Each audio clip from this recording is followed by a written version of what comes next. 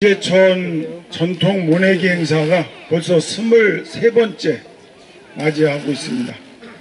어, 제 일기예보로 보면 비도 많이 오고 오늘까지 비가 오는 걸로 돼 있어가지고 그래도 모내기는 그 물이 뭐가 필요하기 때문에 비마저도 해야 되겠다는 생각이었는데 오늘 아침에 아주 날씨가 괴청하고 밝게 이렇게 계서 이 자리에 함께한 그 우리 어? 역삼 어린이집이나 우리 연화 어린이집 또 우리 대치 어린이집 또 뒤에 있는 우리 그 개포 초등학교 양전 초등학교 유엔 초등학교 그 학생과 어린이 또 가족 여러분 선생님 여러분 덕분에 오늘 날씨가 이렇게 쾌차온 것 같아서 너무 좋습니다.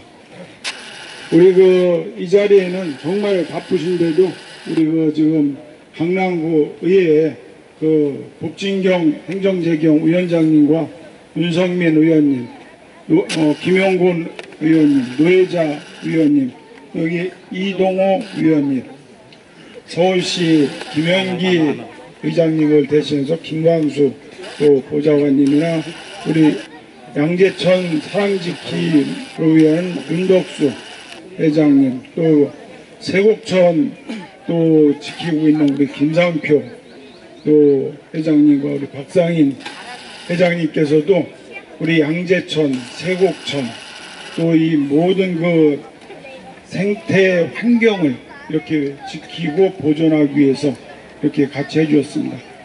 아무쪼록 올해 날씨가 상당히 덥고 힘들었는데 우리 양재천 전통 모내기에 이렇게 참석해 주신 어린이, 학생, 그 가족, 선생님 모든 분들께 감사드리고 작년에도 여기 와서 모내기를 했는데 이제 모내기가 이제 전국적으로 이렇게 전통 사람이 직접 농촌에서 하던 일을 우리 도심에서 이게 체험하고 또 우리가 이 쌀이 주식이기 때문에 우리가 그 농사에 대해서는 항상 우리가 근본을 가지고 우리가 살아나가야 되지 않겠느냐.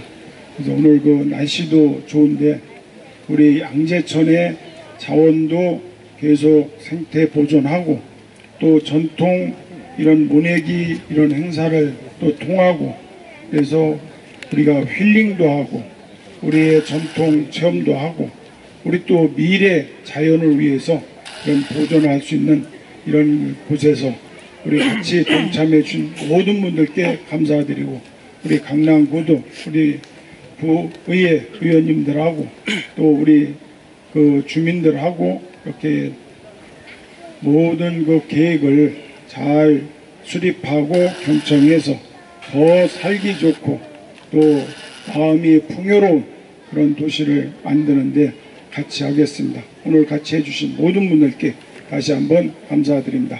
감사합니다.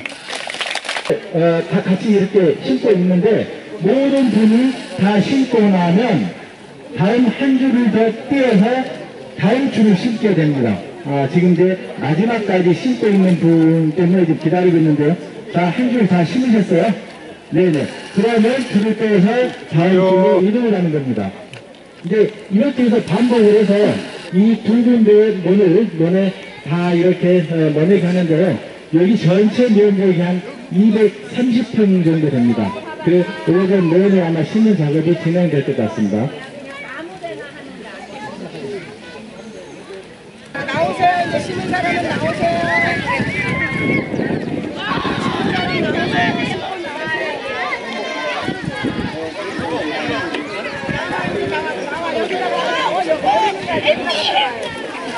어.